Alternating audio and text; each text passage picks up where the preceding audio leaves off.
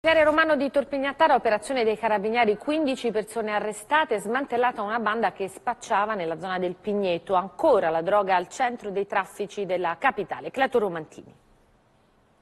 Zio, Ciccio, Erparrucca, Dentone e Bombolo, soprannomi che possono far sorridere i più ma che invece celano nomi ben noti alle forze dell'ordine, componenti di una vera e propria associazione criminale in grado di rifornire di stupefacenti il Pigneto, meta di movida giovanile notturna, e Tor Pignattara, indagati e arrestati nell'operazione Cnosso della DDA e dei Carabinieri di Roma Centro, che rivela una volta di più un contesto in cui la droga è al centro degli interessi della criminalità romana, oltre che alla base dei contrasti da cui sono scaturiti maturiti i recenti fatti di sangue. Nell'inchiesta ci sono anche nomi noti come quello di Giovanni Princi, condannato a quattro anni per spaccio nell'ambito delle indagini per l'omicidio del personal trainer Luca Sacchi. In questa foto sono ripresi insieme durante un pedinamento di controllo dei carabinieri nel 2019, proprio pochi giorni prima del delitto davanti al pub di Colli Albani. Lì fu scoperto il giro di droga adesso collegato. 15 le persone raggiunte da ordinanza di custodia cautelare, 12 in carcere, 3 ai domiciliari familiari.